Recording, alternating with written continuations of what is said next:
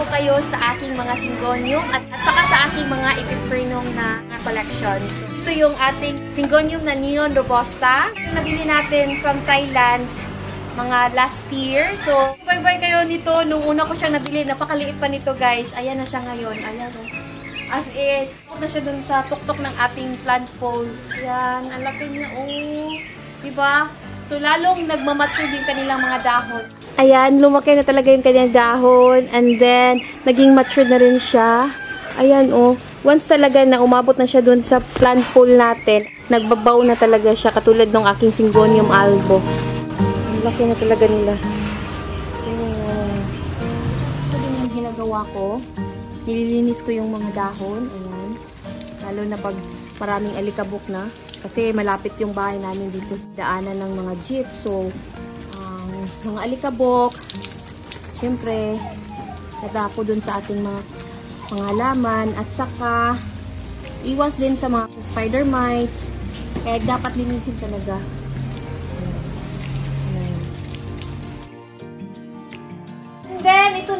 Aking pinakamalaking ipiprenum na Pinatom Albo. Ayan. Naging matured na rin yung kanya dati. Fans kayo ni Sir Bichoy Vlog. Ito yung galing sa kanya.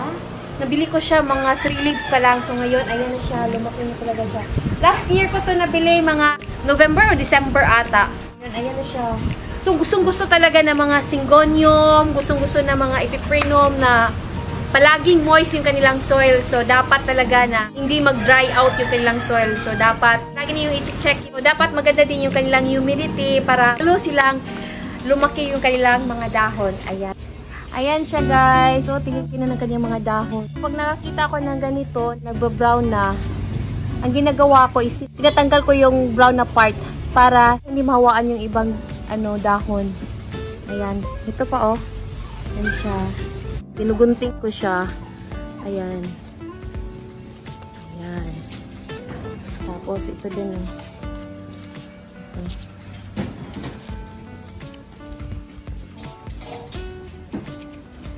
nyo din lagyan ng dieting powder para maprotektahan talaga yung bagong sugat.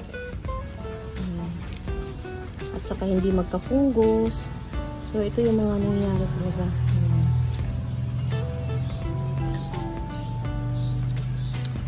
Ito yung mga old leaves niya. Ayan. So, lalo na ngayon, ulan, init, ulan, init. Yung mangyayari pag dito sa labas ng bahay. Maulanan, mainitan, ayan. Tulad din ito, oh. Ayan. Ito. Okay. Ayun, ito pa. Meron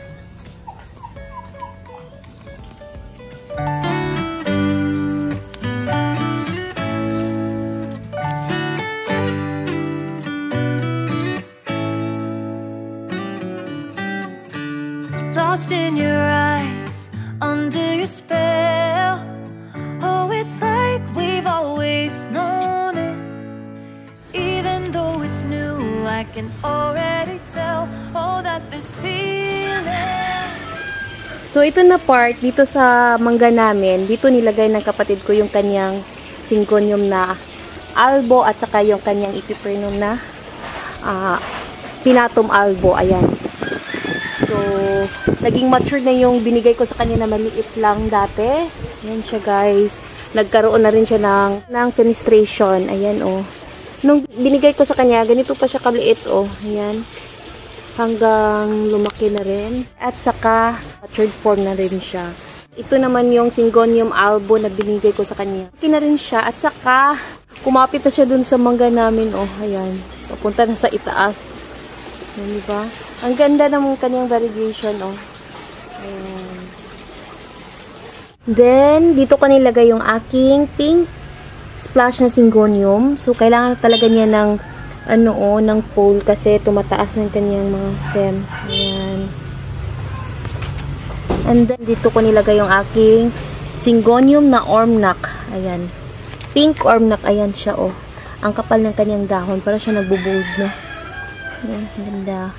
At saka para din siya nagko-coral pink. And then, dito naman yung ibang syngonium ko. Hindi lang kami tubo dito, oh. At dito naman yung ating mga syngonium na uh, pink bulb. Ayan, laki na kanyang dahon. Ayan sila. Ito naman yung ating syngonium na strawberry eyes. Ayan. Ayan sila, oh. At hindi talaga makakuha ng enough lights. Hindi talaga lalabas yung kanyang variegation. Ayan. Ito naman yung syngonium ko na, ano, wait lang. Ito yung syngonium na strawberry eyes na sinasabi nila na uh, galaxy. Galaxy variegation. Ayan siya, oh. Ang mahal ng kuha ko nito. Nasa mga 3,500. Tatlong dahon pa lang yun. Apat na dahon. Yan, ito. Yan, ang ganda. Pero ngayon, nagmura na yung mga syngonium natin. Ayan. And ito naman yung ating syngonium na pink spot. Ayan. Ayan siya. Parang hindi pa kaano siya dumadami. Ayan.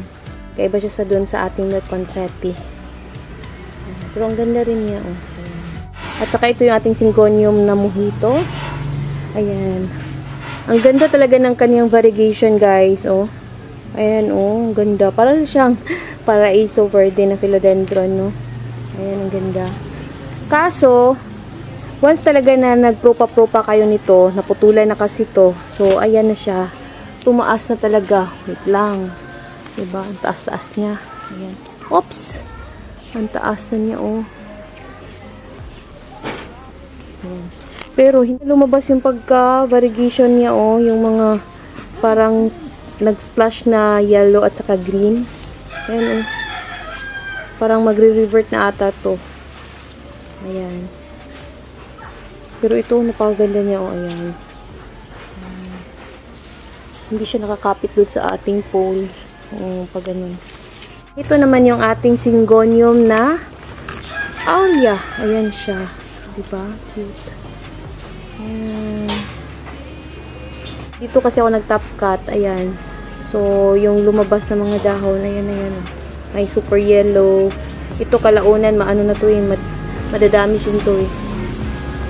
So, ito naman, oh, walang, walang variegation, no. Oh. Ito, may variegation. Ito naman yung iba nating na Epiprenum albo na nilagay ko dito. Pero, last month, ayan, ubos yung mga dahon ng uod. As in, paborito din siyang kainin ng mga uod. Ayan, no. Buti na lang yung top nito is hindi siya na, ano, na kain ng uod. At, pero, ito, oh, naubos na hanggang ito, asin ubos na rin. Pati yung ating aurea, naubos na rin yung kainin. So, nag-spray na ako dyan ng insecticide. So, buti na lang naagapan. And then, ito yung ating, ito naman yung ating confetti. Hindi, hindi klaro, no? Dito tayo. Ayan. Ito naman yung ating confetti.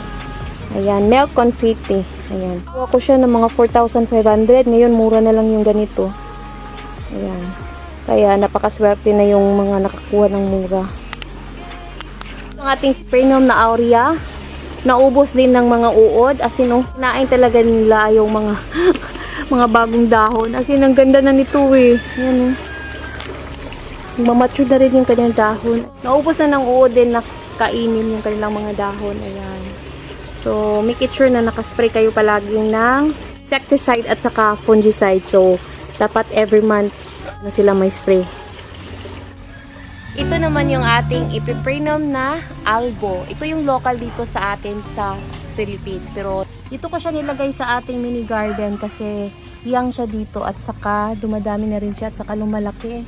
So kailangan na talaga niyang mas mataas na pole. Kailangan na talaga niyang mas mataas na plant pole kasi oh, ayan, ito oh. Full variegation siya. Ayan. Then, ayan. Lalo na siyang dumadami oh. Ang ganda ng kanyang variegation guys. Halos lahat sila nasa itaas na tumutubo. Yeah. Naglash na siya sa itaas pero yung sa, baba, sa baba ayan oh. Naubos yung dahon. Nasa taas sila sa lahat.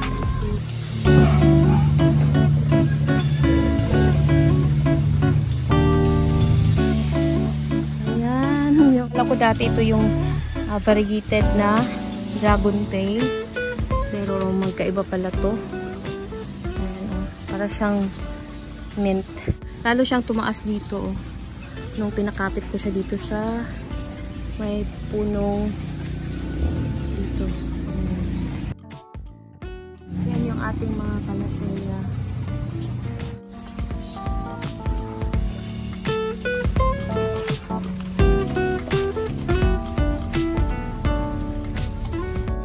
Then, dito ko din nilagay yung aking AP marble. Nung nakuha ko to, nasa mga one leaf lang. Kamahal pa nito nung nakuha ko siya. And then, yan na siya, oh. Hindi pa siya nag-finistrate, oh. Ayan. Para din siyang, ano no, uh, AP premium na albo. Pero, uh, marble po siya, guys.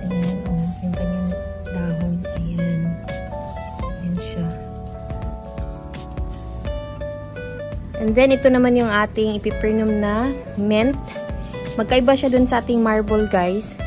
Nakuha ko siya ng isang dahon lang. Ngayon, ayan na siya, oh. May tatlong dahon na. Pero hindi pa siya nag-finish straight. Ayan. And then, ito naman yung aking ipiprenum na uh, sunburst or uh, hindi ko alam anong pangalan nito. Nakuha ko siya ng 500 pesos, dalawang dahon. Ngayon, ayan na siya, oh. Marami na yung ganyan dahon. At saka, maliliit pa yung yung dahon. Napakamahal nito last time. Pero, ngayon, ito na yung best time na bumili tayo kasi mura na sila. Ayan. 500 yung bili ko dati, oh. Dalawang dahon. Ngayon, ah, 1, 2, 3, 4, 5, 6, 7, 8. 10 na sila lahat. And then, meron pa ako dito. Ito yung ating ipiprenum na Aria. Iba din ata ito na Aria, guys. Ayan. Kuha ko rin siya ng one leaf. Ngayon, ayan siya. Ayan. Guys, so sana nagustuhan ninyo yung update ng ating mga ipiprenum at saka yung ating mga singonium. Kung may mga tanong kayo, you can comment down below or sa ating description. Okay? Thank you so much po sa inyo lahat at saka shoutout po sa inyo lahat. And God bless po. Bye!